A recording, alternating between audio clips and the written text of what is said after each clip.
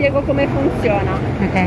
Se entra da qui deve salire 5 piani e poi scende dall'altro lato, non può tornare indietro da questa parte. Bene, Davanti a quel portone viene misurata la temperatura ok, e mm, va sempre indossata la mascherina. ok. Per salire in cima c'è l'ascensore panoramico che è l'unica cosa a pagamento Mhm, e eventualmente si può acquistare il biglietto sopra. mhm. Prego. Grazie.